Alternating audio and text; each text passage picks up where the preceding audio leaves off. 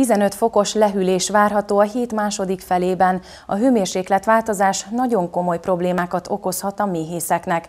A szakemberek szerint a kelleténél egy hónappal korábban kirepültek a méhek a kaptárakból, így az állomány egy részének pusztulásához vezethet a változékony időjárás.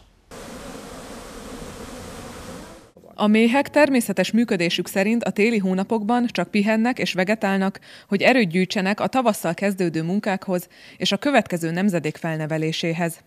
Ahogy azonban ez stábunk felvételein is látható, a változékony időjárás becsapta a rovarokat, és egy hónappal korábban kirepültek a kaptáraikból.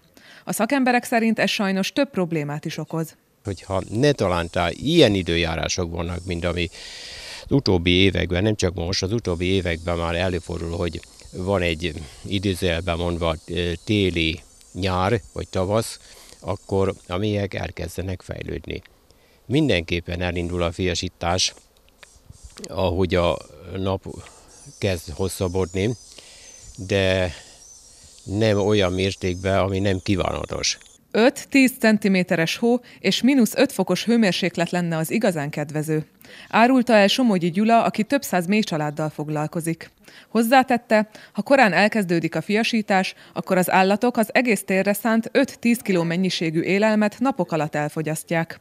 Ha pedig újra beüt egy fagyosabb időszak, akkor a méhek kiszórják a fiasításukat, és le is gyengülnek. A másik legnagyobb problémánk a zakácvirágzással kapcsolatban. Ugye a legtöbb személy az úgy látja, hogyha virágzik a akácfa, akkor majd a méhek fognak gyűjteni. Ez viszont nem így van.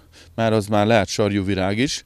Magyarul, hogyha márciusban visszaköszönt ez a nagyon hideg, ugye most még szinte tavaszias időnk van, a rügyeket előhozza nem csak a zakácfáknál, hanem a gyümölcsöknél is, és ugye az akác már, amikor megpattan a rügy, rájön egy fagy, akkor már el tud fagyni. A méhészeteknek már tavaly is kedvezőtlenül alakult a tél. A legnagyobb probléma az, hogy a méhek egyelőre nem tudtak alkalmazkodni a változó időjárási körülményekhez.